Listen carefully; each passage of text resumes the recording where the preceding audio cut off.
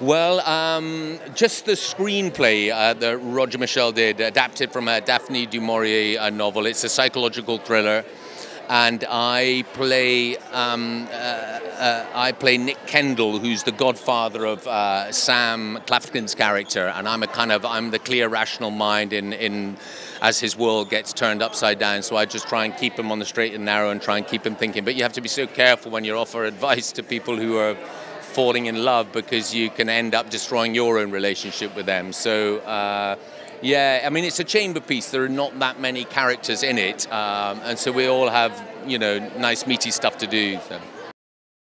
It perverts your expectation of what, uh, you know, what you might see in a period film. Um, I don't know if you know, but Roger Michell, the director, did this uh, very early on for the BBC. Did this uh, adaptation of Persuasion, and he was really the first director that started to put uh, handheld cameras in to sort of mess up the frame. It has a very organic or spontaneous feel. So although it feels very, very authentic, it has uh, it has kind of rough edges to it, and he's very good at bringing that. It's beautifully lit by natural candlelight and light through.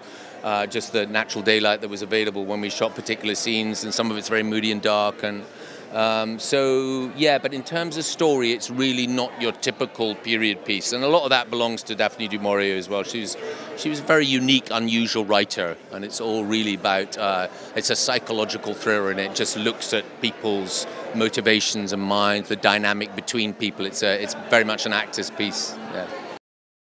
Well, just a very, very, you know, very good actors. Rachel, I knew before I'd worked with before, and she's just sort of mesmerized. She's just, she's a great, you know, I mean, she's a great beauty. She's a consummate actress, and she completely inhabited the role.